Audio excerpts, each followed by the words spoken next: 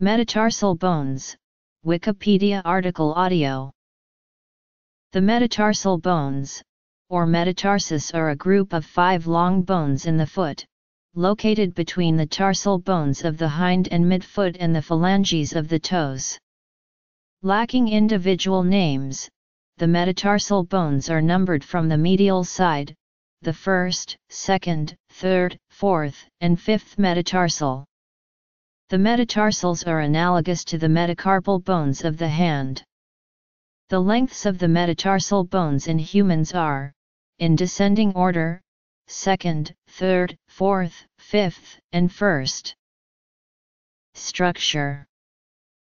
Articulations. Muscle attachments. Clinical significance. Injuries. Notes The five metatarsals are dorsally convex long bones consisting of a shaft or body, a base, and a head. The body is prismoid in form, tapers gradually from the tarsal to the phalangeal extremity, and is curved longitudinally, so as to be concave below, slightly convex above. The base or posterior extremity is wedge-shaped, articulating proximally with the tarsal bones, and by its sides with the contiguous metatarsal bones. Its dorsal and plantar surfaces are rough for the attachment of ligaments.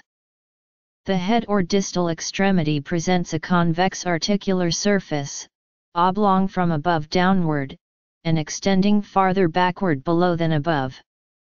Its sides are flattened, and on each is a depression, surmounted by a tubercle, for ligamentous attachment. Its plantar surface is grooved anteroposteriorly for the passage of the flexor tendons, and marked on either side by an articular eminence continuous with the terminal articular surface. During growth, the growth plates are located distally on the metatarsals, except on the first metatarsal where it is located proximally.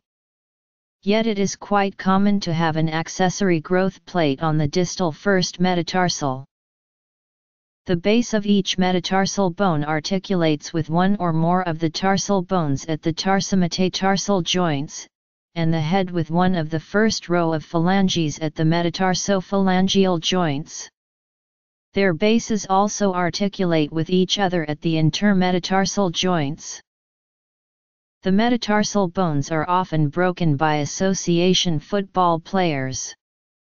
These and other recent cases have been attributed to the lightweight design of modern football boots, which provide less protection to the foot. In 2010 some soccer players began testing a new sock that incorporated a rubber silicone pad over the foot to provide protection to the top of the foot. Stress fractures are thought to account for 16% of injuries related to sports participation, and the metatarsals are the bones most often involved. These fractures are sometimes called march fractures, based on their traditional association with military recruits after long marches. The second and third metatarsals are fixed while walking, thus these metatarsals are common sites of injury.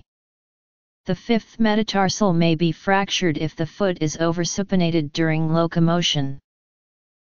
Protection from injuries can be given by the use of safety footwear which can use built-in or removable metatarsal guards. X-ray of foot. Skeleton of left foot. Medial aspect. Oblique section of left intertarsal and tarsometatarsal articulations, showing the synovial cavities.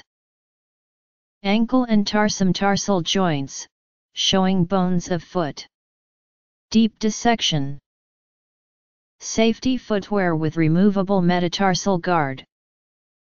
The first metatarsal articulates with the medial cuneiform, and to a small extent to the intermediate cuneiform, the second with all three cuneiforms, the third with the lateral cuneiform, the fourth with the lateral cuneiform and the cuboid, the fifth with the cuboid.